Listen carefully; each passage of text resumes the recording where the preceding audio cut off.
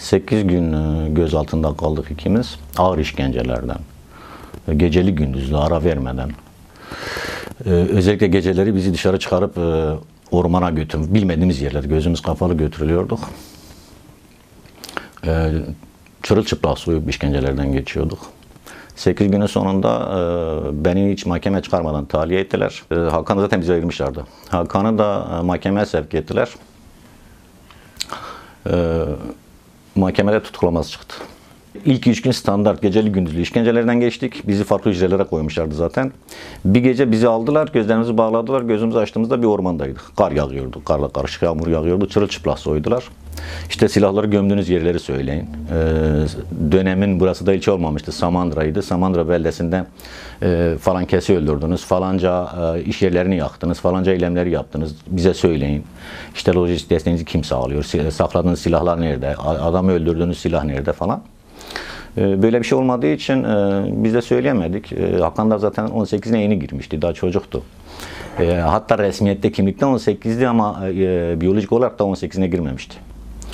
İşte ağır bir işkencelerden geçtik. Geceli gündüzlü devam etti. 8. sonuna, günün sonunda ben e, mahkeme çıkmadan tahliye edildim. Hakan mahkemeye çıktı, tutuklaması çıktı. Defalarca hemen hemen 8 günde e, toplam 4 gece bizi çıkardılar. Birer ikişer saat. Nereye gittiğimizi bilmiyorduk. 8. günün sonunda e, hatta 7. günün sonunda ben e, bağırdım dedim. Hiçbir şeyden korkunuz yoksa insanlığınızdan utanın. Bizden ne istiyorsunuz? Bir tane polis bana aynen şunu söyledi. Dedi ki devlet bizden failini istiyor olayların.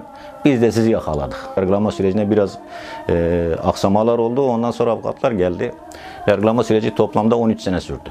Beşiktaş DGM Devlet Güvenlik Mahkemesi'ydi. O zaman askeri savcılar falan vardı. Ayda bir, üç ayda bir mahkemelerde e, mahkeme devam etti. Bize avukatlık yapan iki şahıs da e, önce ofisleri tarandı e, dosyayı bıraksınlar diye.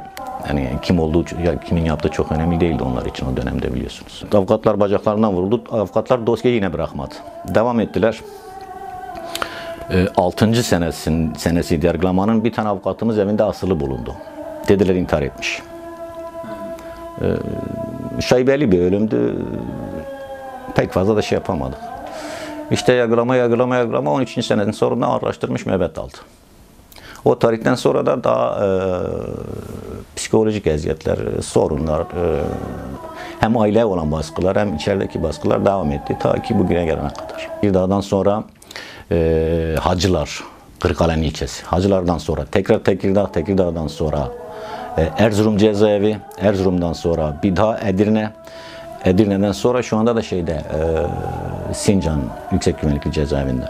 Şimdi e, e, cezaevlerine de sevk edilme sürecini bırakın e, revire götürdükleri zaman ya da hastaneye herhangi bir şikayet için gittikleri zaman bile yoğun e, psikolojik baskı, baskı altındalar. Şu anda bile geçen ay e, ziyaretine gittiğimde üst katlarında FETÖ'cülerin olduğunu, alt katlarında adli suçların olduğunu, e, Hakan zaten ağırlaştırılmış yüksek güvenlikli cezaevindeler.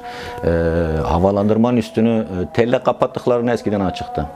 E, çoğu kez e, adli suçların üzerine şaşalda kaynar su attıklarını, işte eşyalarına e, el konulduğunu, e, e, aramalarda keyfi e, aramaların yapıldığını, e, birçok e, eşyalarına el konulduğunu bizim gönderdiklerimiz daha dahi.